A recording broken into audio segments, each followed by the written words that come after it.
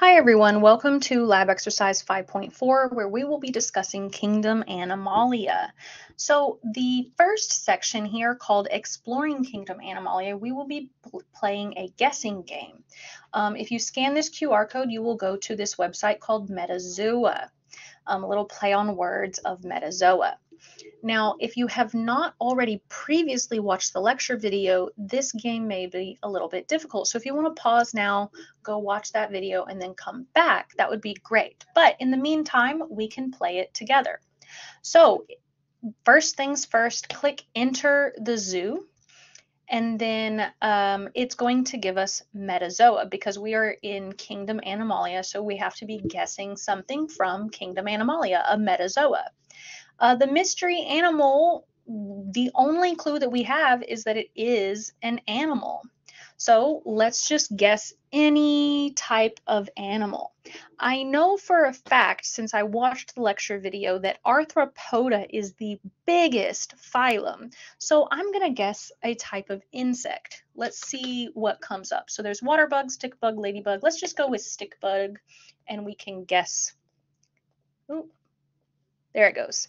We guessed stick bug. So this did give us some extra information. We now know that it is bilateralia or a bilateral animal, an animal that shows symmetry on both sides.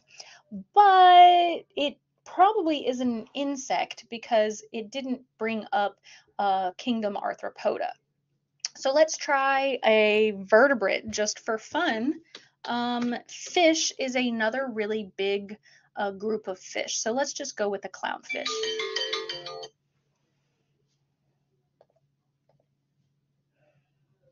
Mm, is it guessing? Okay, so now I know that I am in U, uh, Euteleostomi. It's a clade that includes many different vertebrates, um, and Actinopterygii is one of them, which is uh, bony fishes. Um, and then Sarcopterygii are going to be your lobe-finned uh, fishes and your tetrapods. So maybe it's a higher order vertebrate. Let's just go to a mammal. I'm going to do a type of rodent, so a mouse. Let's see what it does. So that got us somewhere. It is in the uh, Boreoeutheria um, family. Uh, so it has to be a placental mammal. Do, do, do. Okay, so it's going to be a placental mammal, uh, so not a marsupial. Let's uh, let's just go for it. Let's look at tigers. Okay, that didn't really get us very far. We haven't changed much. Um, it's still placental mammal. So let's try a sloth. Okay, still didn't get much further. Let's try a primate. Let's try a chimpanzee and see if we get further away. No, still not very helpful. Um, it's not a chimpanzee, not a mouse, closer related to a tiger. Let's see if it's a canine. Um, let's call, let's see if wolf is an option. Okay, that didn't help us very much. It is not a in the carnivora family. So mm, let's keep guessing.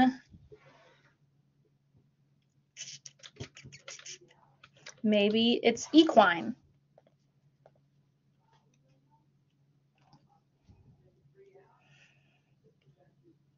Mm, nope. Uh, still stuck in the same spot. It mentions ungulates. Ungulates are like cows, uh, cattle. Let's see if cattle gets us anywhere. Okay, now we've got somewhere. We have an artiodactyl, which are placental mammals that have, uh, they're usually ungulates. That means that they ferment their food in a chambered stomach. Um, they bear weight on uh, multiple toes, on two of their toes.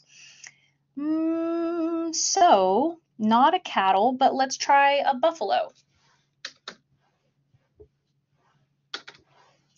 Water buffalo. Let's see if that works. No. Okay, now we're getting further away, so it's not a bovine.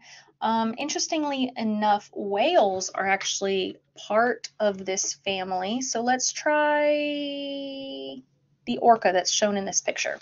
Okay, so it is an aquatic mammal. Interesting. Um, these are uh, toothed whales. It's not an orca, so maybe it's a type of dolphin. Mm, work for us? Okay, so not part of the dolphin family. Let's go with beluga. I'm not going to do humpback because they do not have teeth. Beluga was the correct answer. So that one was a little bit difficult. Normally, uh, students get it in fewer guesses than I did, but that was fun. And we learned a lot along the way about these different clades and groups of animals within the animal kingdom. And interestingly enough, whales are actually rather closely related to bovines. Um, so that is it for the first activity. The second activity is called observing specimens. If we were in face-to-face -face class, I have face-to-face -face specimens that you're able to observe, hold, and identify. But online, what I want you to do is on the QR code PowerPoint, the one up here where the video is found, there's a button called Click Me. If you click that, you will go to a Kingdom Animalia um, worksheet here. This is also available in our lesson. And these are different um, animals in the nine major phyla of animal, uh, the kingdom Animalia or the animal kingdom. So you are welcome to choose any two of these animals. If you choose Echinodermata, you might choose starfish, sea urchins, or sea cucumbers. If you choose the uh, fish, you can talk about uh, salmon, trout, sharks, any, any kind of fish that you want to talk about. If you talk about birds, um, different types of animals within these phyla. So you will write the common name of the animal, their identifying features. For instance, does it display symmetry? The porifera does not have symmetry. Um, whereas the echinodermata has a radial symmetry. So different kinds of um, features. The echinodermata has spiny skin and tube feet as well. So anything that you notice about your uh, animal, for instance, uh, spiders may have eight limbs and two appendages, uh, whereas insects only have six limbs. Then do a small uh, sketch. It doesn't have to be a Rembrandt, just a sketch, and label the phyla. So this will be easy for you because the phyla is mentioned on these um, organisms. So phyla chordata or uh, the nine major phyla, if you click on this button, are circled or highlighted. So in fact, all of these subphyla belong to the one major phyla of vertebrata or chordata. And then invertebrates is a classification. Each of these highlighted um, groups is going to be one of the major phyla. Arthropoda is enormous and has four major subphyla. Um, you just have to mention Arthropoda. So after you do that, we are going to work on March Mammal Madness. If you scan this QR code, you will get to this PowerPoint and you can watch the introductory video um, or download a bracket. But I have the bracket attached on the back of the worksheet. So you have the bracket here. The rules are very similar to Mar uh, March Madness in basketball, where these creatures are going to be simulating head-to-head -head combat in an environment of one of those two creatures. So read through these rules and objectives because some of the questions on the quiz are related to the rules. We have 65 uh, species featured in this year's March Mammal Madness. So each of these species is going to have a chance to be in a head-to-head -head battle and we want to see who is going to win in the animal kingdom. Now, keep in mind, not all of these creatures are mammals, but they are related to animals. Now, the first three rounds, um, when you do your bracket research, the first three rounds are going to occur in the higher seeded animals home environment. So if we look at this bracket, make it bigger. If we look at this bracket, for instance, we have the okapi, which is seeded number one, and the grass mouse seeded number 16. This means that their battle, their simulated battle, will occur in the okapi's preferred habitat because it has a higher seed or it's ranked higher. Um, but before we get to that, we first have to do a wild card, which is worth one point. Who do you think would win between a shrew mole and a bumblebee bat? Make your selection, make your guess, fill it out on your bracket here and then you can watch the video. Before you uh, watch the video, sorry, I got dizzy there for a second. Before you um, watch the video, though, you can research each one of these mammals by going through the bracket research. Um, the bracket research has information on every single one of the animals that's on this list and they're uh, divided in categories. If you would like to quickly look through them, you can use the menu at the bottom to go to different areas as opposed to clicking through. Um, so look at each one of these. I only require you to fill out the first um, the first round. So the side panels, you don't have to go further into it. In face-to-face -face class, we simply don't have time to go further into it, but it is fun to look at these animals in round one. So fill out one of these brackets, just round one, and then we're going to watch the release video. So round one results. The wild card video will tell you who belongs or who won the wild card, and then they will be seed 16 for Itty Bitty Comeback City um, and fight against the Sea Otter then you will have to decide who should win against the sea otter. The answers to these brackets are located right here for the wild card, for Dad Bod's Mighty Stripes, Animal Engineers, and the Itty Bitty Comeback City.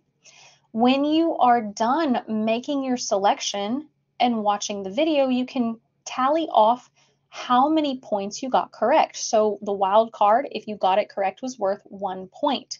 Round one, every single correct pr prediction is worth one point. So you will add up those points to get your total points. That's as far as we go in face-to-face -face class, but if you're having fun, you can continue to round two, three, four, and finally the champion.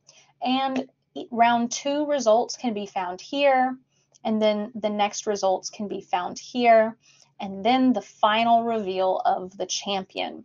So you can um, use that information to count up your total points. Here is the same scorecard. Round one points are worth one point. Round two correct predictions are worth two points. Round three is worth three points. Round four is worth five points. Round five is worth eight points. And then if you get the champion correct, it is worth 13 points. And you can total up your points here. The important part, however, is that you answer these questions about March Mammal Madness because some of the questions on the quiz will be related to the adaptations that these creatures have which allow them to win.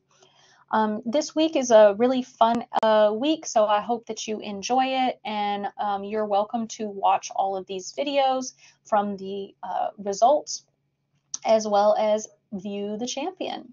I hope that y'all have a great day and I will see you again next uh, unit. But please don't forget that your Unit 5 exam is coming up after you complete 5.4, make sure that you are prepared for that Unit 5 exam.